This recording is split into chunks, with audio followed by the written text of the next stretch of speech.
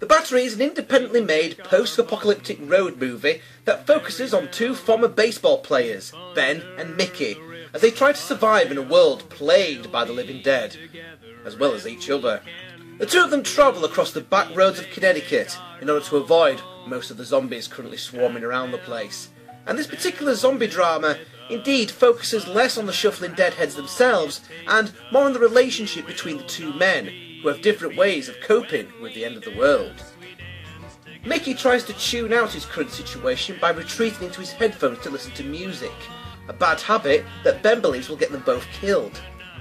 Mickey dreams of things going back to the way they once were, and upon hearing a female voice on his walkie-talkie, decides that he wants nothing more than to try and find her. Of course, it's possible that he has other reasons, some would even say urges, to find this woman, judging by one awkward scene involving a busty female zombie.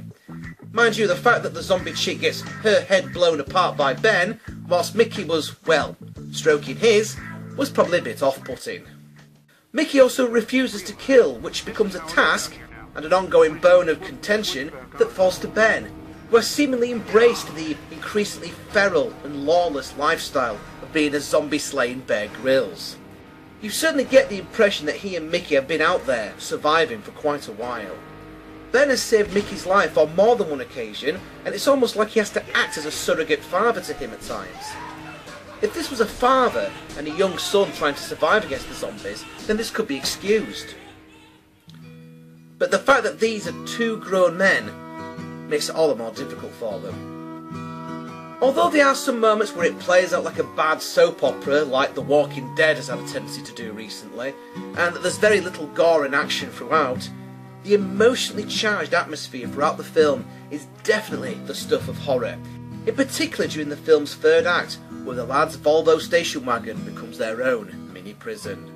So, despite its low budget, or perhaps because of it, The Battery is an emotional roller coaster that's simply a must see. It might be a little slow in places, but The Battery shows that you don't need a big budget and good looking Hollywood stars, World War Z, in order to tell a compelling story. In fact, it does tell you about what happens about to those people who do survive the apocalypse.